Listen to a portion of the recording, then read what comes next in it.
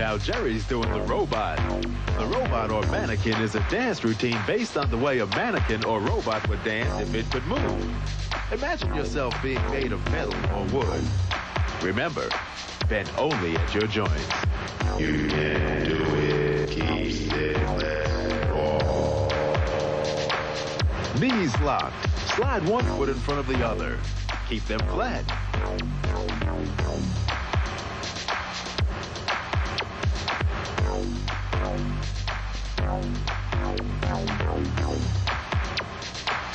Now, add some arms. Bend at the elbow, keeping your fingers and arms stiff. You can move your arms with each step. Or slower really looks tough. To bend over, be sure to keep your back flat. Turns will appear jerky. Your head moves independently in jerky starts and stops. That's it. The secret to the robot is to keep your joints locked at all times. You can combine these moves